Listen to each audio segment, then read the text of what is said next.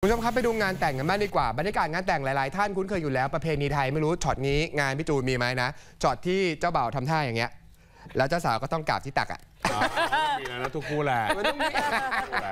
แล้วส่วนใหญ่ร้อยทั้งร้อยเจ้าสาวต้องกราบเจ้าบ่าวใช่ไหมครับมันแล้เป็วนแล้วนั่นคือครั้งเดียวนะ ครั้งเดียวที่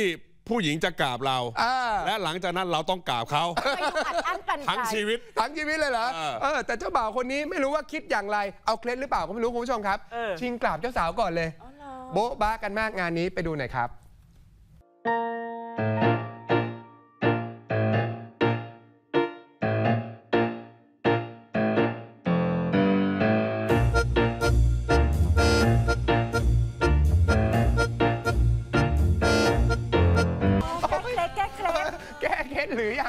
เออ อุ้ยอยากสัมภาษณ์อะ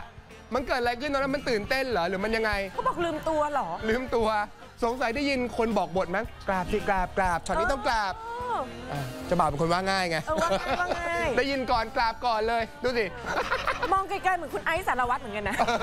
คล้ายๆเอ๊ะหรือน้องหนีไปแต่งงานตอนไหนเนี่ย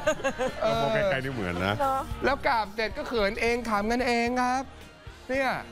ทั้งบ่าวทั้งสาวทั้งผู้ใหญ่ในงานขำกันกากเลยเออไม่มีใครคาดคิด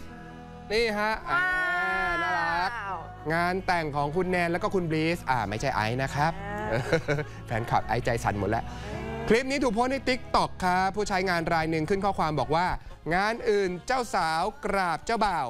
งานเราเจ้าบ่าวกราบเจ้าสาว คลิปนี้คนเข้าไปดูแล้ว8ล้าน5นี่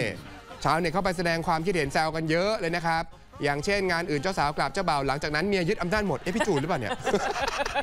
ทำไมเขาเห็นชีวิตพี่จูน เออนั่นน่ะสิ งานนี้ก็เลยชิงกราบเจ้าสาวกันก่อน บางคนบอกว่าครับที่อยู่ได้ครับเมียอยู่รอดเออ ชอบคำนี้ชอบประโยคนี้หรือนี่ก็คือพี่จูนอีกแหละเอเอออเออไปเม้นเหรอหรือยังไง บางคนก็แซวว่าพ่อสอนมาดีอนาคตรอดทุกเหตุการณ์แน่ครับดูพ่อเป็นตัวอย่างดูพ่อเป็นตัวอย่างคอมเมนแล้วต์ก็มีสีช็บออกว่าตตอนป้อนไข่ด้วยนะอ่าว่าป้อนไข่อะไรยังไงไข่อะไรเจ้าสาวไข่อะไข่อะไรมีไข่พี่มงคลน่ะอ๋อไข่ต้มอะคิดให้มันไข่ต้ดีมสิอะอ๋อเออคิดดีไม่ได้สินะพี่อยากล็อกเล็กล็อกเล็ก